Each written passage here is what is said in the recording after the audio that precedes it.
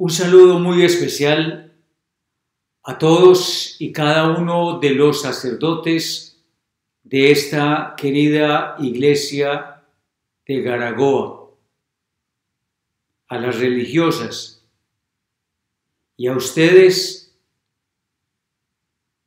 queridos laicos, que han emprendido con tanto entusiasmo la formación en este instituto pastoral. El IMPAMI es un verdadero regalo de Dios para la iglesia. Lo concibo así porque es una escuela de discípulos puestos a los pies del Maestro que es Jesús, para seguir sus enseñanzas para hacernos a su estilo de vida, para dejarnos marcar por Él. Por eso, el que exista este instituto pastoral, que se vaya configurando, que vaya tomando cuerpo en nuestras comunidades, es un verdadero regalo que nos entrega el Señor. Es una responsabilidad muy grande, porque es un sembrado que se está haciendo poco a poco, como todos los sembrados. Como obispo, tengo la inmensa responsabilidad de acompañarles a ustedes en este sembrado, de regar, de cuidar, con la paciencia que tiene que hacerlo el sembrador, con la paciencia que requiere cualquier cultivo, no sin fatigas. El que siembra, muchos de ustedes saben bien de estas cosas, para poder llegar a tener cualquier cosecha, tiene que sudar mucho y a altos costos. Yo quisiera invitarles a ustedes en este primer encuentro, en esta primera relación que tengo con ustedes, a que entiendan, acepten que se trata de un trabajo que nos va a requerir fatiga, esfuerzo. A veces no se alcanza mayor cosa, pero hay que trabajar duro. Cualquier semilla, cualquier semilla que se tire requiere de un duro trabajo. Desde mover la tierra, desde abonar la tierra, desde preparar la tierra para la siembra, ¿Qué les parece tenerse que doblar tantas veces para arrancar la maleza? ¿Qué les parece la dura fatiga de soportar la lluvia, el sol, para poder resistir mientras se va arrancando la maleza, las hojas que ya se van secando y hasta ciertas cosas que se van pegando de los árboles que no corresponden a la naturaleza misma del árbol, que son ramas que se articulan allí y que se vuelven ramas chuspasangres y que llegan incluso a pestar al árbol mismo y a dañarlo. Muchas de nuestras veredas de nuestras fincas, eso lo llaman las sueldas, las plantas parásitas. ¿Cuánta fatiga para arrancar eso de allí? ¿Con cuánta lucha? ¿Con cuánto sudor? Y después llega el tiempo de la cosecha. La cosecha no viene sola, no brota sola. Requiere fatiga, lucha, y mucho esfuerzo, mucho trabajo.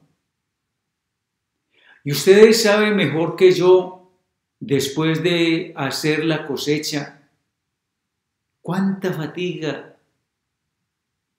para separar las cosas buenas de las malas, lo que sirve de lo que no sirve.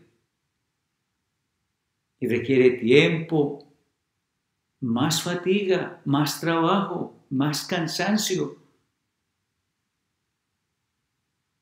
Después de eso, ustedes también mejor que yo lo saben,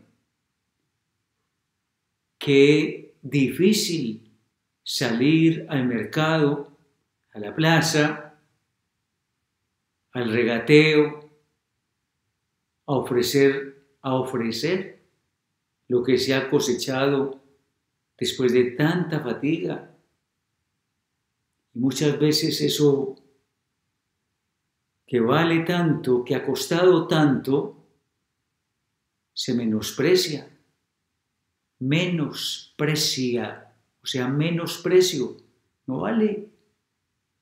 Para otros no vale, no importa. Sabiendo uno cuánto costó, cuánta fatiga, cuánto trabajo, cuánta lucha. Algo así quiero llevarles a la reflexión al comenzar este primer encuentro con ustedes y animarlos a trabajar y muy duro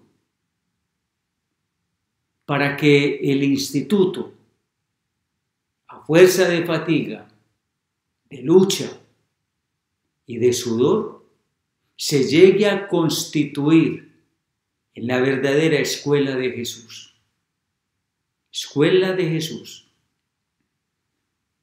Si Jesús, a quien nosotros seguimos, a quien usted y yo estamos tratando de seguir, nos ha precisado como maestro en la cruz, desde la cruz, la gloria también de la resurrección, entonces le creemos a la palabra.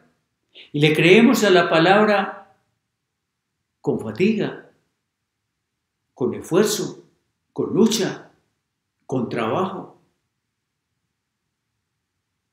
El instituto demanda sudor, esfuerzo, pero vamos a hacer bien las cosas.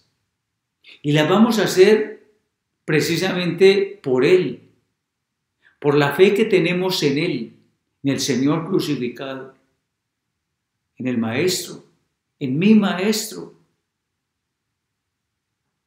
Aceptarlo a Él, aceptar la palabra, aceptar sus enseñanzas y su estilo de vida, aunque termine de esa manera, es hacerme también a una manera de vivir, a un estilo de vida. Y a eso te quiero invitar. que seas dócil en este instituto que te sacrifiques, a que luches, a que te esfuerces. Esto por Él vale la pena. Y vale la pena porque la manera como Jesús nos ha enseñado a vivir, su palabra, su testimonio, su acción, nos ha abierto a nosotros una enorme posibilidad de realización, de ilusión, de ser más humanos para poder ser en el proyecto de Dios capaces de ser sus hijos. Qué enorme privilegio. Por eso te insisto, enamórate del instituto, y puede ser que llegue momentos en que uno quiera desistir de la siembra, a echar esto a un lado, olvidarse de esto. Pero, ¿a quién más podemos nosotros recurrir? ¿A qué otro maestro podemos ir? ¿A qué otra escuela podemos ir? a la de Él.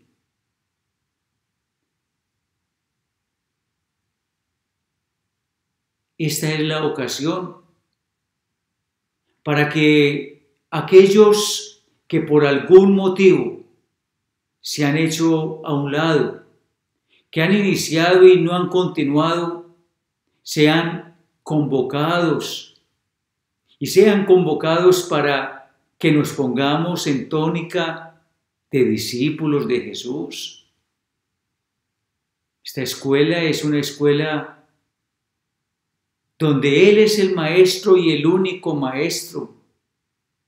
Y es un maestro que tiene, miren, mírenlo, la cruz como signo, como estandarte.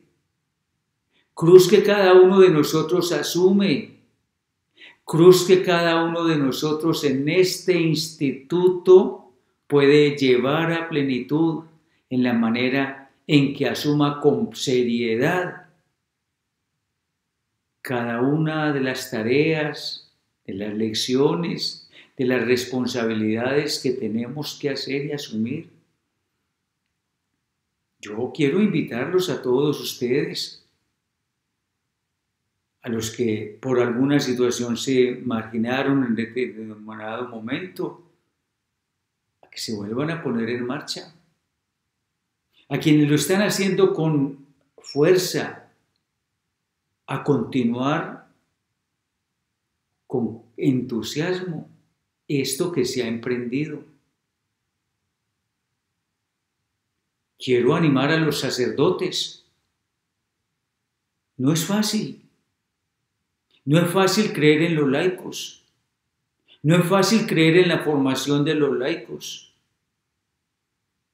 Esto requiere de una nueva mentalidad, esto requiere una nueva estructura mental, esto requiere una conversión pastoral. Pero la fuerza de la iglesia son los laicos. Por eso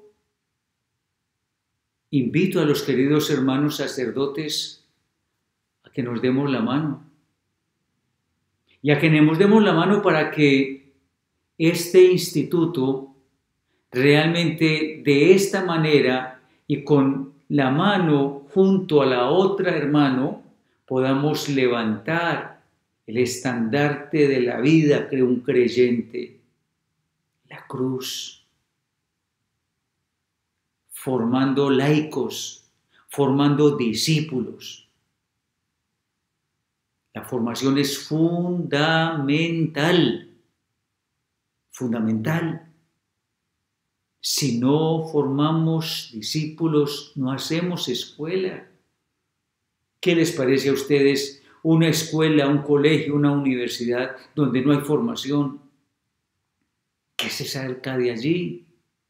¿Qué tipo de profesionales podrán salir de una universidad?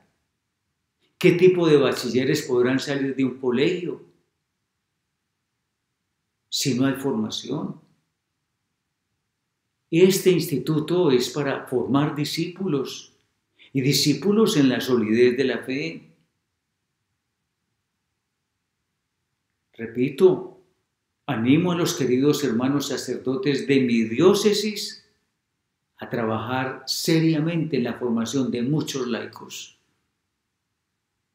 animo a las religiosas, desempeñan un papel fundamental y las convoco, sobre todo a ustedes, queridas religiosas, que tienen vocación para ser maestras como el maestro, que les gusta, que llevan esto en las venas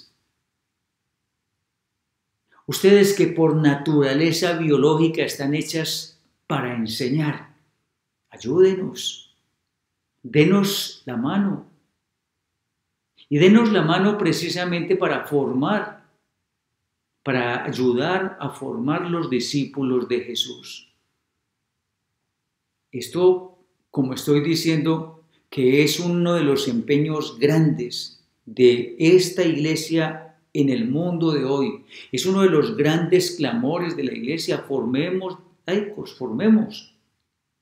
Nos permitirá a nosotros una oxigenación hacia los próximos años. La iglesia tendrá vida si formamos laicos. Yo cuento con ustedes, las religiosas. Me parece fundamental que ustedes nos den la mano desde la experiencia que tienen, desde la generosidad, desde el carisma que ustedes tienen. Y cuento con ustedes los laicos. Cuento con la disposición para dejarse formar a los pies del Maestro. Y cuento con ustedes los laicos porque en este momento como don de Dios, como regalo de Dios, son el soporte, son la vida, son el oxígeno de la iglesia. Ustedes, aquí hay muchos laicos. El instituto está formando muchos laicos. Hagámoslo con seriedad para pertenecer a una escuela y para ser discípulo hay una palabra que es clave, la disciplina. Disciplina. Disciplina viene precisamente de la palabra discípulo. Para ser discípulo hay que ser disciplinado. En este primer encuentro quiero insistirles en la disciplina porque la disciplina nos da fidelidad. De tal manera que estudiemos lo que tenemos que estudiar, que hagamos lo que tenemos que hacer, que cumplamos lo que tenemos que cumplir. Disciplina. El discípulo es discípulo si es disciplinado. Si no cumple con las tareas, ¿Cómo puedo yo decir que alguien es un buen discípulo? No pasa. Es lo, lo, elemental. Pues yo sí quisiera invitarles a ustedes a ponerse a los pies del maestro, hacer la tarea y ser buenos discípulos. Vamos a caracterizarnos y vamos a darle el mejor nivel al instituto. ¿De qué depende? De tu disciplina, de tu manera de trabajar, de hacer las cosas, de responder por ellas. Vamos a hacerlo. Y vamos a hacerlo bien hecho. ¿Por qué lo vamos a hacer bien hecho? Por Él.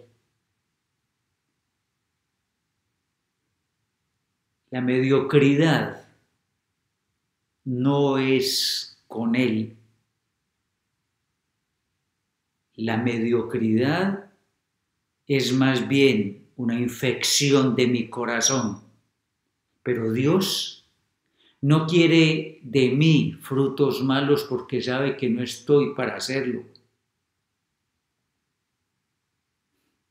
Él te ha dado a ti todo como a mí para producir los mejores frutos.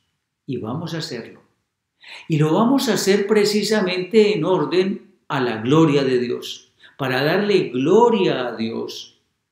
Esto me parece a mí que es determinante. Vas a tratar de ser un buen discípulo, disciplinado, a cumplir con las cosas, a ser puntual,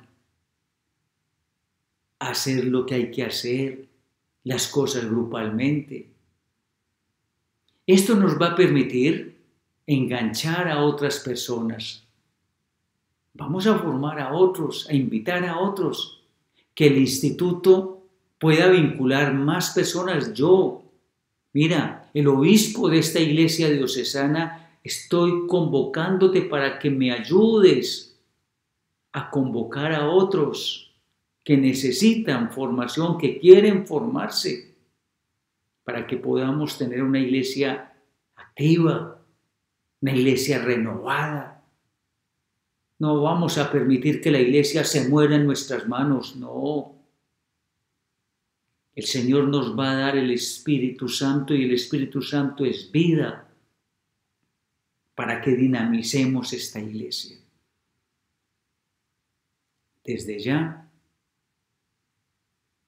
empiezo a convocarlos para que asistamos a los encuentros, a cada uno de los encuentros que se nos está programando en la formación, para que sigamos los niveles correspondientes, para que nos preparemos con toda seriedad, todo eso es disciplina.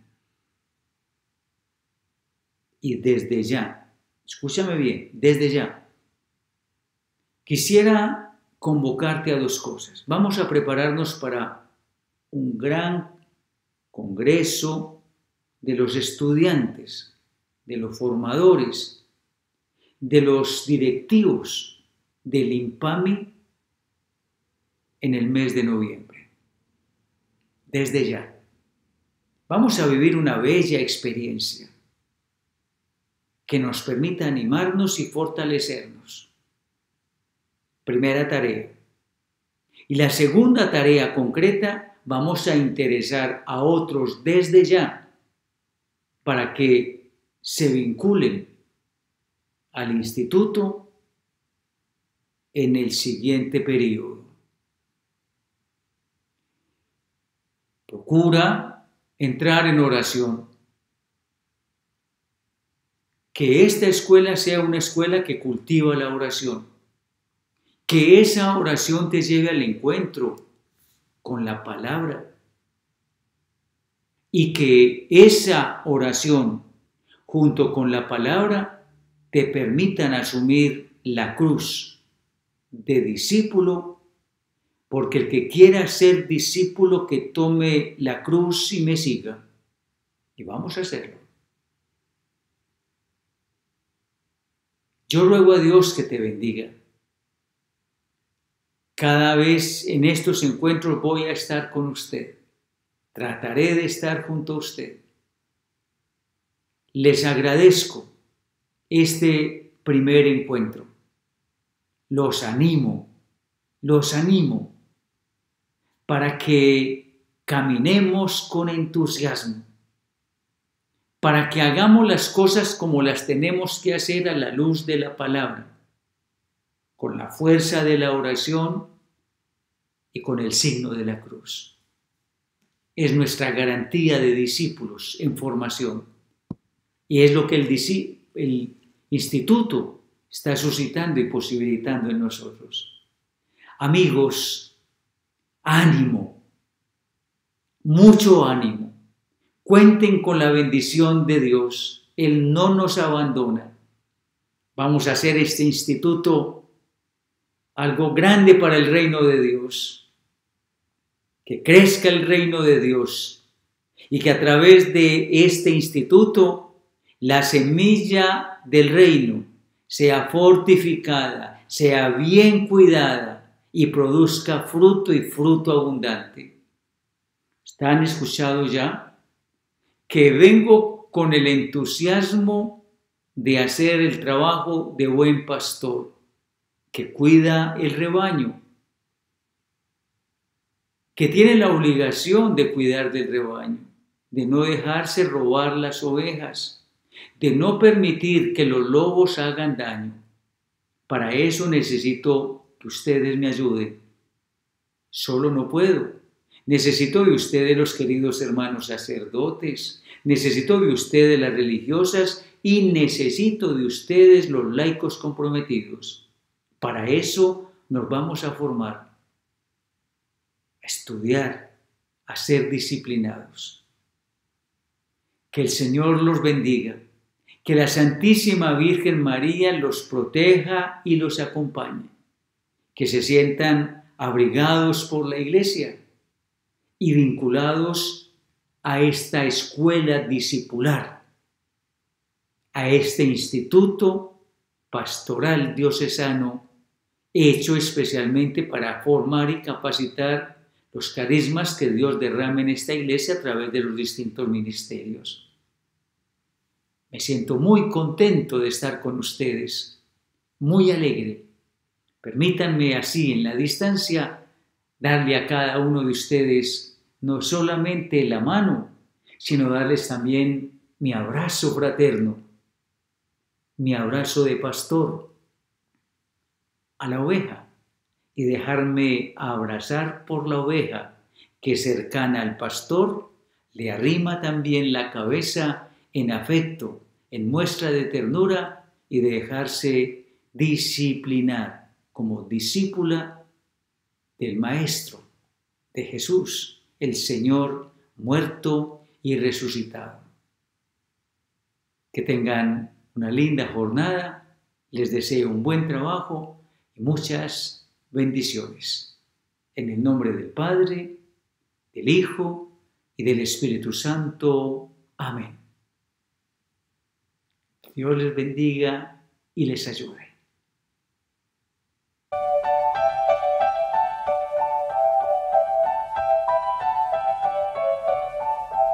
Nos envías por el mundo a anunciar la buena nueva. Nos envías por el mundo a anunciar la buena nueva.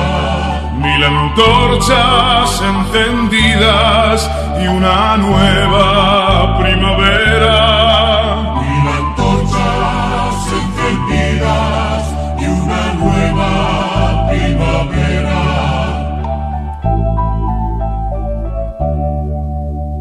Si la sal se vuelve sosa, ¿quién podrá salar el mundo? Si la sal se vuelve sosa, ¿quién podrá salar el mundo? Nuestra vida es levadura, nuestro amor será fecundo. Nuestra vida es levadura, nuestro amor será fecundo.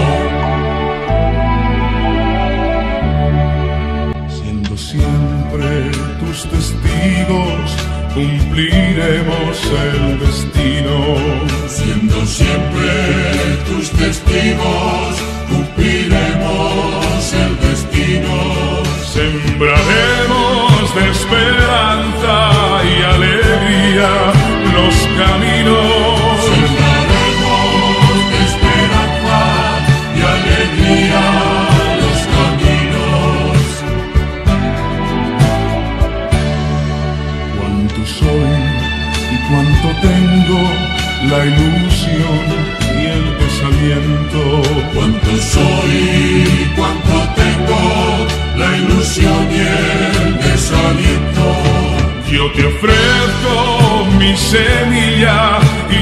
amore.